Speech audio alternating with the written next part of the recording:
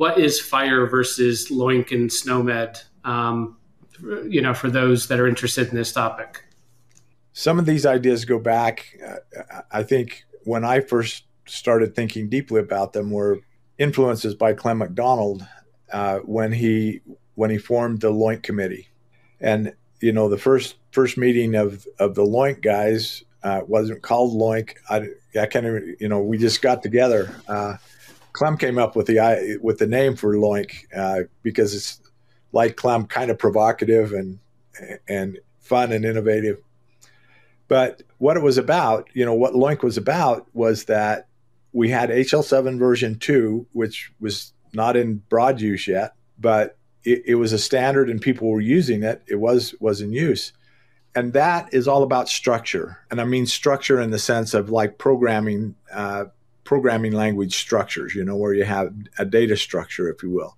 And so HL7 version 2 is providing the structure, but people that were now creating HL7 interfaces said, what codes and terms do we use in those standards in order to actually communicate information? I mean, uh, so we've got a result record, but everybody basically would making up, you know, they had everybody who would install a lab system would make up their own names for all of the lab tests for hematocrits and hemoglobins mm-hmm, and glucoses mm-hmm. and potassiums and sodiums, and some would spell out the word and some would just have an abbreviation and, you know, some would use a number, etc. And so LOINC was created out of a desire to have people, you know, use a standard code in their system and then that could be transmitted and then you you didn't have to do all of these one one to one many to many mappings between systems but what you know sort of getting back to, to the point that you asked about what occurred to us at that time is that the terminology had to work synergistically with the structure. And, and knowing the structure helps you to know how much information to put in a code or whether you wanted to use multiple codes or the you know other aspects of the structure to represent that information. So for instance very early on we said well we're not going to put uh, we're not going to make LOINC codes that say uh, stat glucose or stat hematocrit or stat something else. Because we know in the HL7 structure there's a there's a field for the priority. So that stat mm-hmm. and we know that that's going to be transmitted in the message. And so we're never going to include that information. Likewise you you could have made LOINC codes that said Dr. John's pain clinic elixir level or something I mean you know yeah. again we know who ordered it we know who it's going to that's information that's elsewhere in the message and so we again there's an early rule it says we never put you know a clinician's name in there and then the other thing that is less clear and comes back to many ways to say things is that just thinking about something like glucose levels uh, a glucose level in one sense is always a glucose. I mean you put the you put the sample on the machine and it it figures out that the glucose is you know 120 or 130 or 100 or 80 or whatever the glucose level is.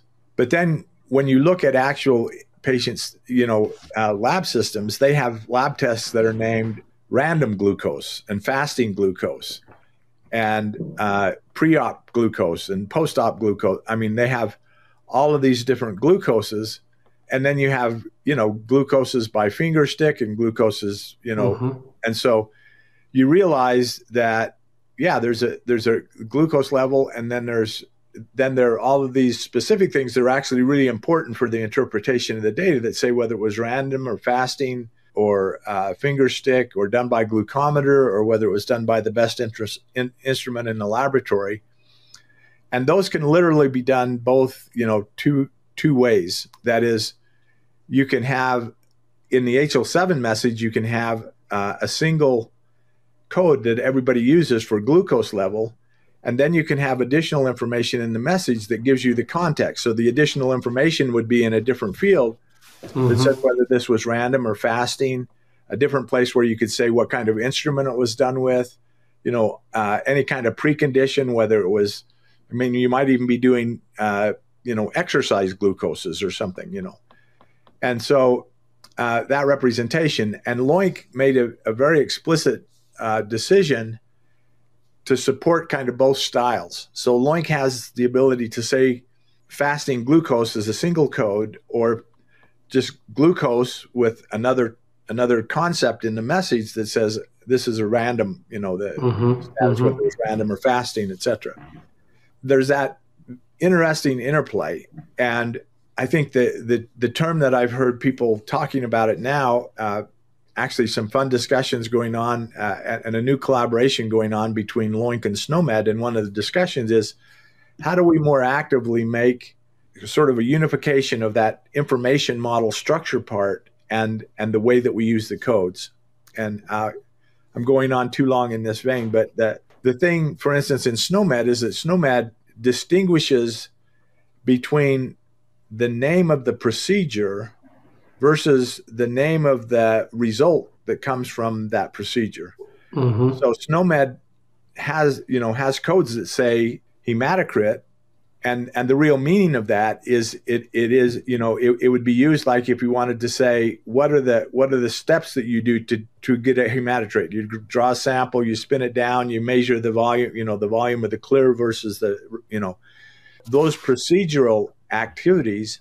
And then there's a different code quote unquote an observable in in SNOMED that has to say this is the name of the number that was achieved by the result as a result of that process. I did all of those process steps and I ended up with a number of uh, 49% for the hematocrit.